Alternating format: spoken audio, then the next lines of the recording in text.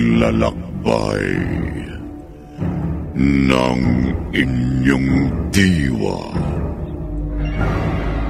Pagsaksi sa mga pangyayaring hindi mo sukat akalain.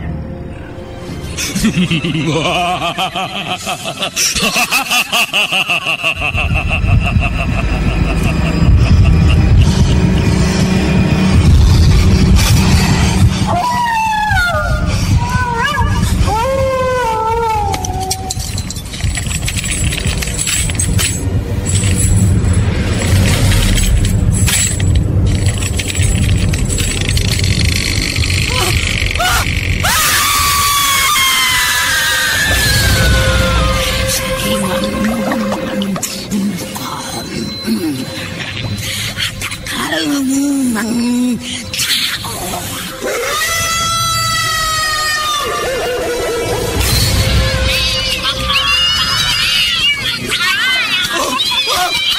na! Ah! Mga kambong ng kaniliman! Huwag! Kayong lalapit sa akin! Ah! Ah!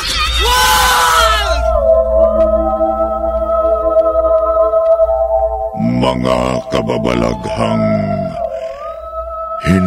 kayang tanggapin ng inyong isipan. Nagaganap tuwing sasapit ang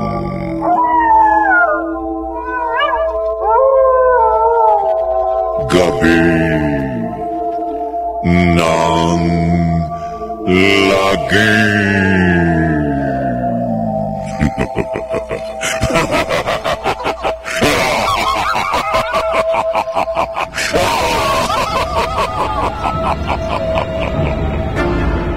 Pinagsamang produksyon ng DZRH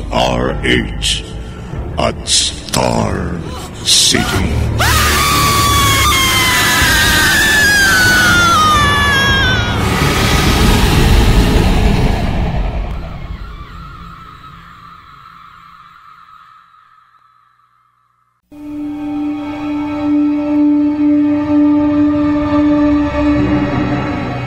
Magandang gabi, kaibigan. Kagabi, napalitan ng kalungkutan ang sanay kasiyahang dulot ng sanggol sa mag-asawang Philip at Catherine si Father Gaudencio matapos mabalitaan ang nangyari. Dinalaw ang mag-asawa. Ngunit hindi niya inaasahan ang kanyang madadatnan sa kwarto. Dahil si Ivana ay ginising ng isang tinig. Narito ang ikaapat na bahagi ng ating tampok na kwento sa linggong ito na pinamagatang Binhi ng Dilim sa isa na namang gabi na lagi.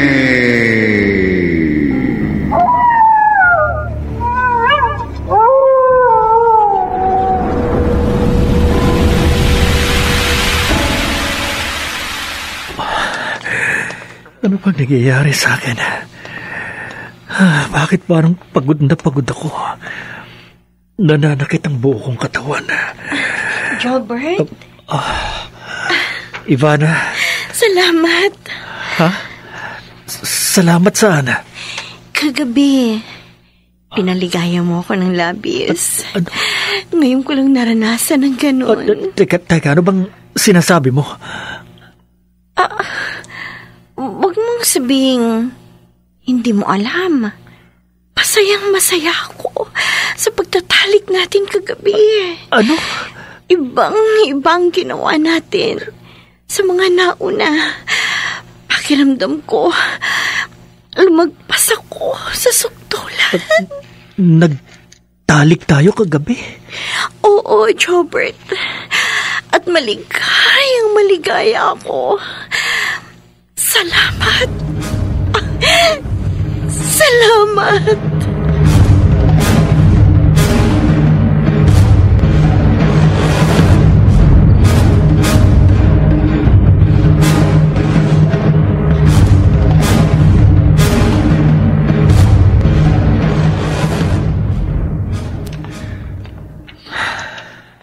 Jobert, Oh, mukhang malalim ang iniisip mo ah. Ay napakalalim ng iyong buntong hininga. Nanay Rosalia. Ay siguro dahil sa mga problema dumating sa pamilya niyo. eh, Hindi ho yun, Nanay Rosalia. Ay, ay huwag mo sabihin meron pang iba. Si... Si Ivana. Naguguluhan ako. Si Ivana? May bakit? May...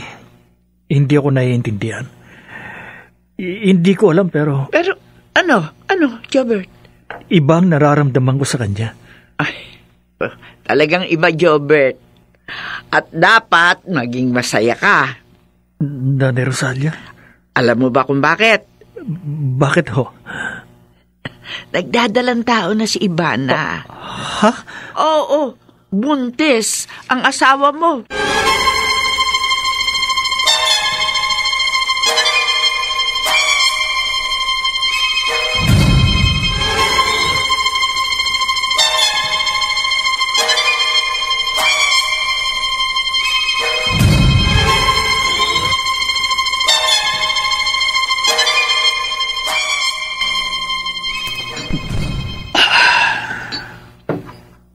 Pwede ba kitang saluhang uminom, Kuya Chopper? Oh, Philip. Sige, halika. Maupo ka. Salamat. Sabi ka. Ito. Uminom ka. Kumusta na ang kalagayan ni Catherine? Lalong lumalala, Kuya. Tuluyan ang nawala sa katinawan si Catherine. Kawawa naman ang kapatid ko. Ang gusto ko sana, dali na lang natin siya sa mental hospital. Baka sakali kumaling pa siya. Ikaw ang bahala. Kung sa tingin mo, yun ang makabubuti para sa kanya. Jobert! Oh. Jobert! Si Nana Rosalia. At, Nana Rosalia, bakit ho? Madali ka, Jobert! Si Ivana! Bakit? A- anong nangyari kay Ivana? Manganganak ng asawa mo, Jobert! A- ano ho?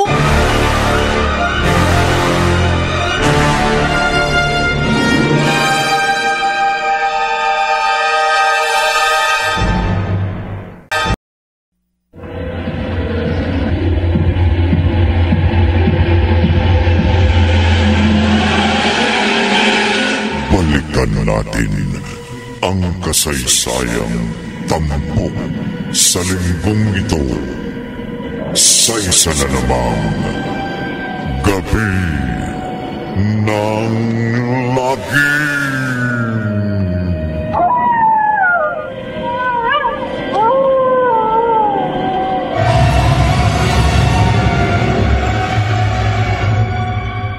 Eh, Hindi ako makapaniwala. Paano nangyari na sa loob ng anim na araw, nagbuntis at nanganak si Ivana? Kahit mga doktor, hindi maipaliwanag ang nangyari sa kanya, Kuya. Imposible ito. Hindi totoo. Jobert! Philip! Um, Nanay Rosalia, bakit ho? Ay, merong mga taga-media sa labas. Ha? Hinahanap ka at ang asawa mo. Gusto raw nila kayo ma-interview. Ho? paano nilang nalaman? I- Hindi pwede ito. Ayoko. Philip, tulungan mo ako. Ha? Kailangan makaalis tayo. Nag- Itatakas natin si Ivana at ang bata sa lugar na ito.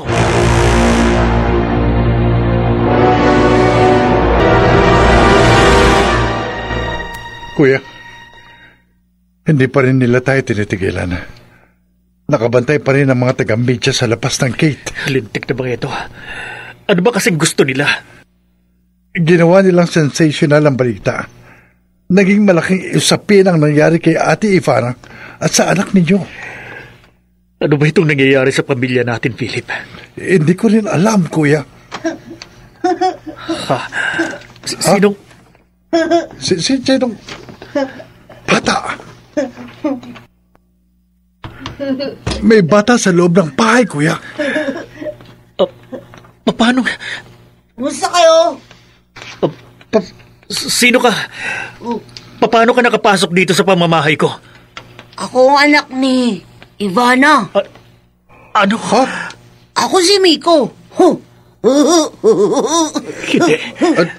Anak, lumapit ka sa daddy mo. Jobert, siya ang ating anak. Si Miko. Oh my God! Pa- Paano nangyari ito? Pa- Paano?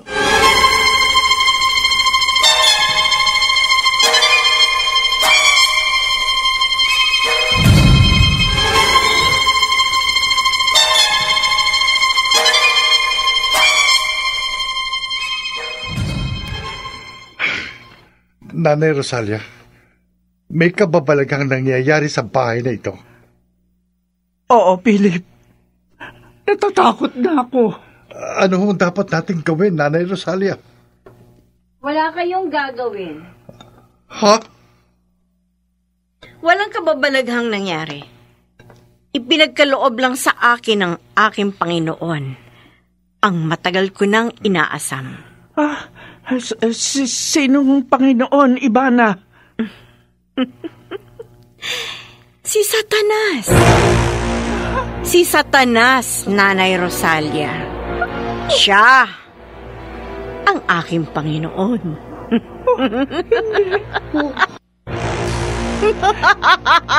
Hindi. Balikan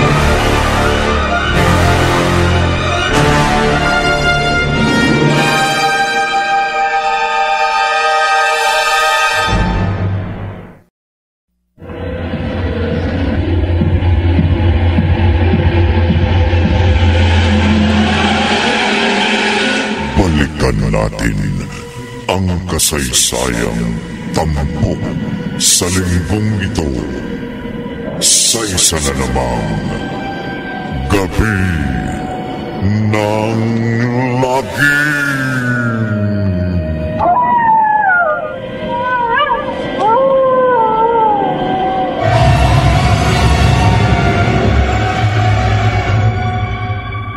Panginoong Satanas, labis ako nagpapasalamat sa kabutihan mo sa akin. Dahil hindi mo ipinagdamot ang kahilingan ko, pinupuri kita ng labis, Panginoon! Salamat! Salamat, aking Panginoon! Mapalad ka, Ivana.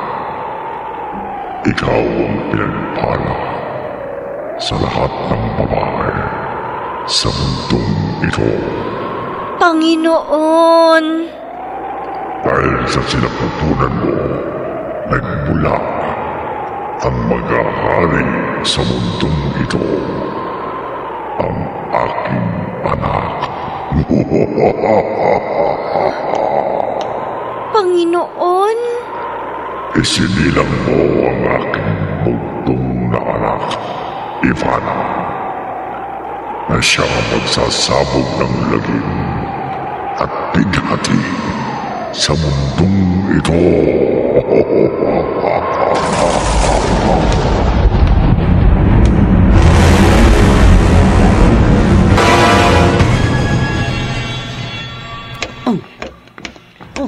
Miko, gabi na. Matulog ka na. Ano bang pinagkaiba ng gabi sa umaga, tanda? Ah, ah, ha? Ah, Wala. Kaya wag mo akong pakikialaman.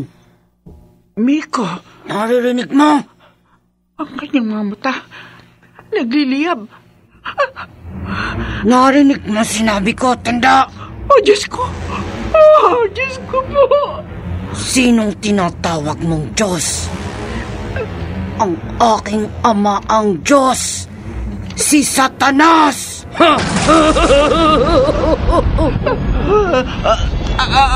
Ang dibdib ko. Naninigip. Ang dibdib. Ah,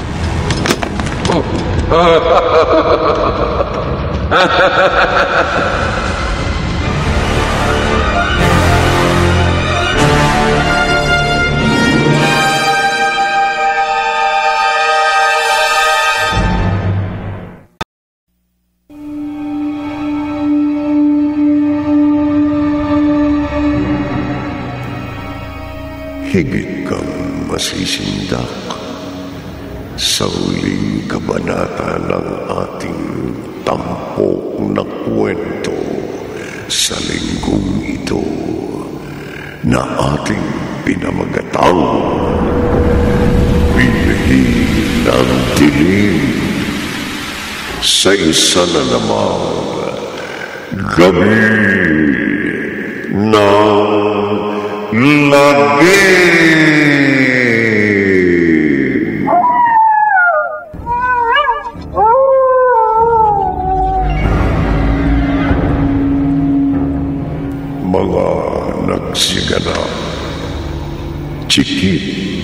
Carmen Amor Maynard Landicho Jr.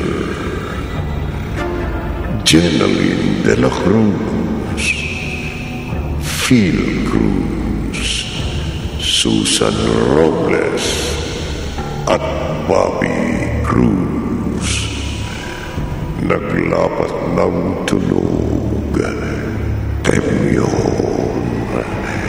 Sa musika ni Buboy Salonga Supervisyong teknikal ni Nabong Muyar at Eric Lucero Isinulat ni Maynard Landicho Jr. at sa direksyon Lionel Benjamin. Gabi ng lagim.